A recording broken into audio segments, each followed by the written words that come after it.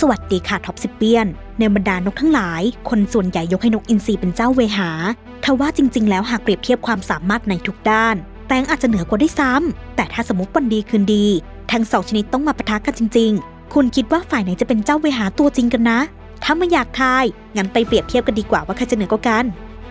นี่คือ Top 10 Box กล่องขนมแสนอร่อยส่งตรงจากญี่ปุ่น ใน Top 10 Box ขนมแต่ละอย่างมีเอกลักษณ์และอร่อย เช่น KitKat มะม่วง KitKat ราสเบอร์รี่ cookie and cream หรือเบอร์เกอร์ DIY ทำเอง และอื่นๆ อีกมากมายย้ำกินตอนดู Netflix ในออฟฟิศหรือเป็นของขวัญให้คนที่คุณรัก มันต้องมี ในแต่ละเดือน แล้วจับคู่ขนมมีเอกลักษณ์และรสชาติใหม่ๆ ใน top 10 บอกด้วย ดังนั้นสั่งซื้อกล่องของเราผ่านไลน์แอดแอดท็อป10แอด TOP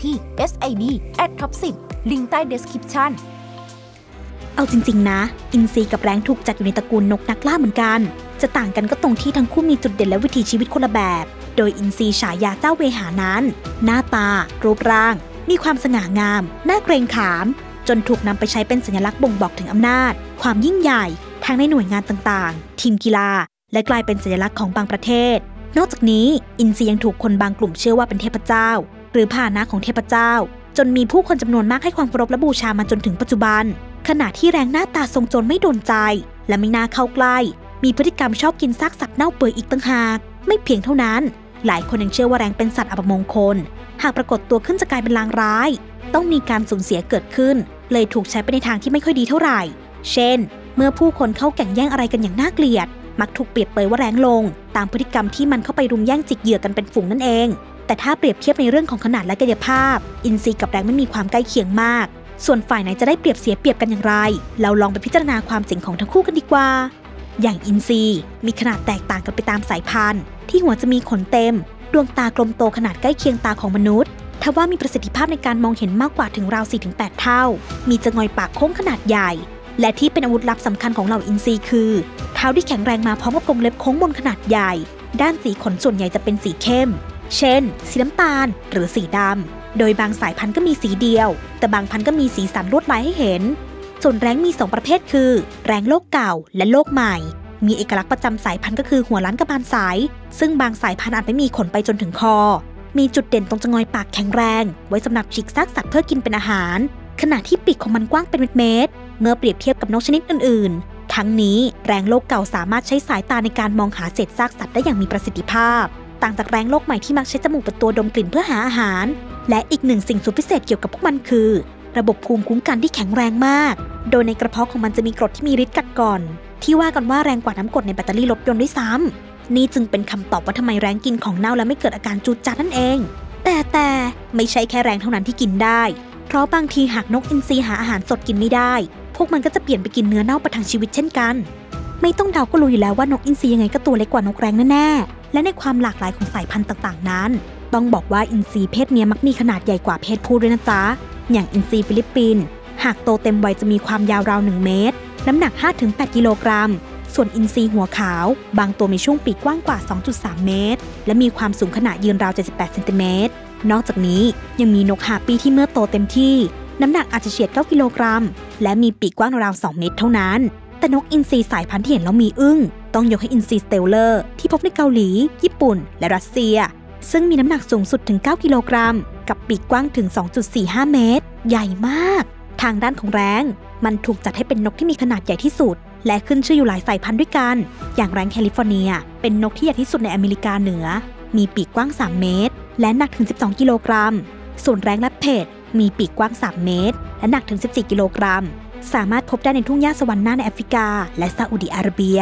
ส่วนที่เรียกว่านกยักษ์ได้แบบเต็มปาก ต้องยกให้แรงแอนเดียน ซึ่งเป็นนกบินได้บนบกที่มีขนาดใหญ่ที่สุดในโลก เพราะมันมีน้ำหนักถึง 15 กิโลกรัม และยังมีปีกกว้างขนาด 3.2 เมตร ดูแล้วไม่น่าบินไหว แต่ทำไงได้ก็บินไปแล้วอะ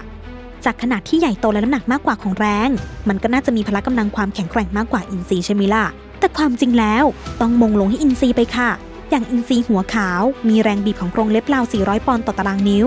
สามารถจับและจิกเหยื่อที่มีน้ำหนัก 2.2 กิโลกรัมลอยลิ้วปิวลมได้สบาย แต่นั้นก็ยังไม่โหดเท่าอินทรีทอง ที่มีแรงบิดของกรงเล็บถึง 750 ปอนด์ต่อตารางนิ้ว ซึ่งถือว่ามากกว่าพลังคมเขี้ยวของสิงโตอีก เรียกว่าเหยื่อตัวไหนโดนกรงเล็บของเจ้าอินทรีทองเข้าไป ซี้แหงแก๋แบบไม่ต้องสั่งลาแน่ๆ ถ้าให้โหดจัดๆเลย ต้องอินทรีมงกุฎหรือ African crowned ซึ่งมีกรงเล็บขนาดใหญ่และขาที่แข็งแรงไป เพราะได้ข่าวว่าสามารถทุบกะโหลกของลิงได้แบบไม่ต้อง up level เลย แต่ที่ต้องยกให้เป็นที่สุดของที่สุดเลยคืออินทรีฮาร์ปีที่มีกรงเล็บยาวถึง 12.7เซนติเมตรพร้อมกับแรงบีบจากกรงเล็บมากถึง 110 ปอนด์ต่อตารางนิ้ว เรียกว่าจิกกระชากได้อยู่หมัดไม่มีหลุด สามารถโฉบเอาเหยื่อที่มีน้ำหนักประมาณ 8 กิโลกรัมบินกลับรังได้แบบชิวๆอีกด้วย โหย นี่มันซูเปอร์อินทรีชัดๆ ทางด้านของแร้ง แม้ไม่โดดเด่นในเรื่องการล่า แต่ความแข็งแกร่งก็ไม่ธรรมดา อย่างแร้งแอนเดียน ที่มีปีกกว้างระดับ 3 เมตร มันอาศัยอยู่ในพื้นที่ภูเขาซึ่งมีลมพัดแรงมาก ดังนั้นปีกของมันต้องแข็งแรงอย่างมากในการบินในสภาพที่มีลมแรงจัดๆยังไงก็ตาม แร้งสายพันธุ์ที่จัดว่าแข็งแกร่ง ก็ยังมีแร้งลาเพตสามารถล่าเนื้อทรายฟลามิงโก และสัตว์ตัวใหญ่ๆได้สบาย แถมมีนิสัยขี้แย่ง ถ้าหิวเมื่อไหร่ ก็พร้อมโจมตีเพื่อแย่งเหยื่อทันที ขณะที่แร้งเคราหรือ lammergeier มีความเชี่ยวชาญในการกินไขกระดูก ถ้ากระดูกชิ้นเล็กๆ มันจะกัดจนแตกแล้วกิน หากเป็นชิ้นใหญ่จะคาบแล้วบินขึ้นไปที่สูง ก่อนปล่อยลงมากระแทกกับหินจนแตกโอ้ยฟังแล้วเสียวกระดูกเลยค่ะคุณผู้ชม แม้ว่าอินทรีและแร้งจะเป็นนกในตระกูลนักล่าเหมือนกัน แต่เรื่องความชำนาญในการเป็นผู้ล่าแตกต่างกันลิบลับ โดยอินทรีต้องยกให้เป็นนักล่าที่เก่งกาจเอามากๆ มีสายตาเฉียบคม มองเห็นได้ชัดเจนกว่ามนุษย์ถึง 8 เท่า จึงมองเห็นเหยื่อได้ไกล ประกอบกับกรงเล็บเท้าแหลมคม แข็งแรงและมีความรวดเร็ว จึงสามารถบินฉกและตะปบเหยื่อตั้งแต่ปลาไปจนถึงแมวน้ำได้ในพริบตา ทางฝั่งของแรงมันจะไม่ล่าเหยื่อที่มีชีวิต เพราะอาวุธสำคัญอย่างกรงเล็บนั้นไม่มีความแหลมคม และแข็งแรงเพียงพอ เหมือนเอาไว้เดินเท่านั้น อีกทั้งแรงยังตัวใหญ่ เลยจับเหยื่อไม่ทัน แปว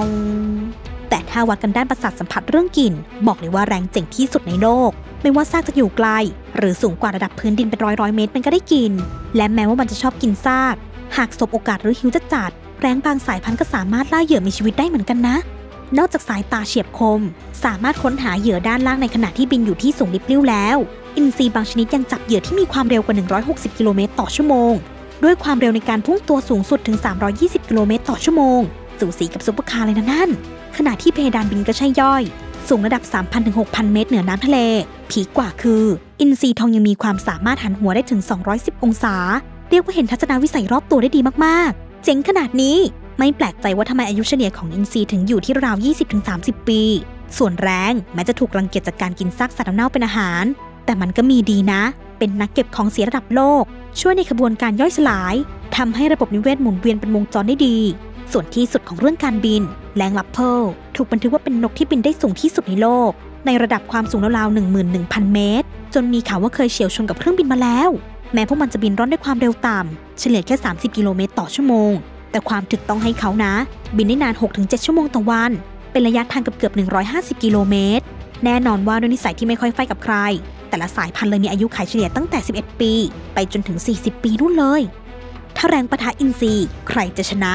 และแล้วก็มาถึงวินาทีที่ทุกคนลอยคอ เอ้ย รอคอย กับการปะทะกันของนก ระหว่างแรงกับอินทรีที่มีความเจ๋งคนละแบบ โดยแรงจะชอบแบ่งปัน เน้นหมู่คณะ ขณะที่อินทรีจะอยู่แบบสันโดษหรือเป็นคู่เท่านั้น อย่างไรก็ตาม โดยความที่อินทรีดำรงชีพด้วยการล่าเหยื่อเป็นอาหารด้วยตัวเอง ต่างจากแรงที่อาศัยกินซากโดยไม่จำเป็นต้องไปล่าด้วยตัวเอง ลองนึกภาพว่าหากทั้งสองไฟกันแล้วก็ ผลลัพธ์ที่ออกมานั้น แรงเป็นฝ่ายเสียเปรียบเห็นเห็น แม้จะตัวใหญ่กว่า แต่อินทรีมีความเชี่ยวชาญด้านการต่อสู้ทางด้านความเร็ว พละกำลัง ไหนจะอาวุธอย่างกรงเล็บอีก มีภาษีกว่าเยอะไม่ว่าจะประเมินด้านไหน อินทรีก็รักษาตำแหน่งราชาแห่งท้องฟ้าเอาไว้ได้แน่นอน ถ้าคุณชอบวิดีโอของเราสามารถแสดงความคิดเห็นกดไลค์และกดติดตาม แล้วห้ามพลาดวิดีโอใหม่ของเราได้ในวิดีโอหน้านะคะ